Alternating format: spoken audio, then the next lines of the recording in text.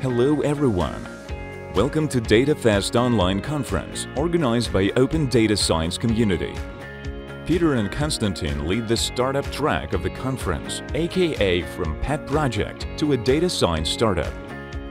This track covers fundamental concepts behind launching a startup, for example, how to find an idea, how to find a co-founder, and to raise venture capital.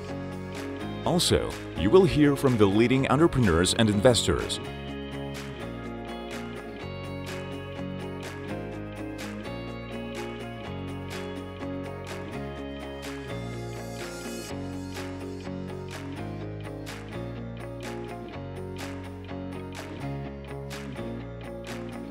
So we worked on this as a, you know, as a side project on weekends and evenings for about uh, a year, maybe like 10 months. Um, and what we got to a stage we, where we built, um, we decided to test some of the commercial aspects um, in terms of if we can actually sell this. Um, we were doing this sort of quite casually, so all we did was build a landing page, sort of very simple landing page.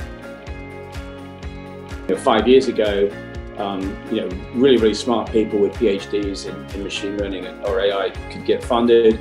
Um, the next stage was you needed to be those people, but you also needed to have access to proprietary data to do your training. And now you need to have those two things, but you also need to have customer insight or, or access to, to real customer traction. Um, because you can, you know, investing in science projects is, is um, a, lot, of people invested in science projects and haven't had the outcomes that they want. We took that quote from uh, Arnold Schwarzenegger: uh, "Plan B, there's no Plan B." So we did uh, we did quit our jobs and we said uh, let's make the best of it. Um, it uh, it aligned interests a, a lot more uh, because if um, you have some people with uh, with a job and some people being uh, completely out of it, you, you're soon going to start to see some friction just because someone moves at much higher speed than the other person.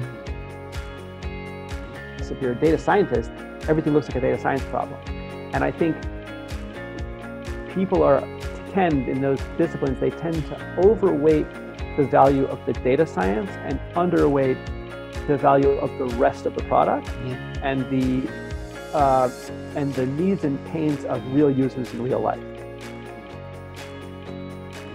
Be frequentist. Don't be too Bayesian because, frankly, if you're a tech founder, like I'm, like I am, right? If you come from a technical background, and your prior is probably not that good.